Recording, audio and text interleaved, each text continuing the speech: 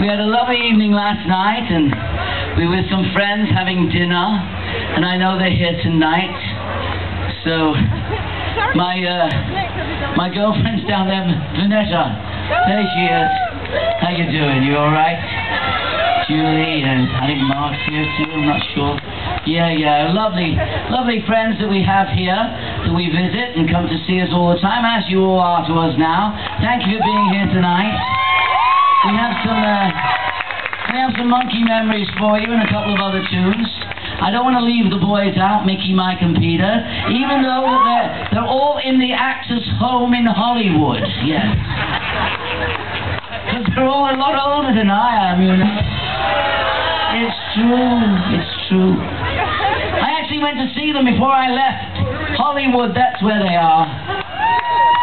I went over, they all share a room together. It's, it's, it's lovely.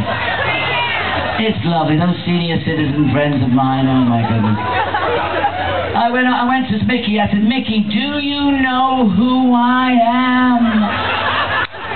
And Peter said, ask the nurse, she'll tell you.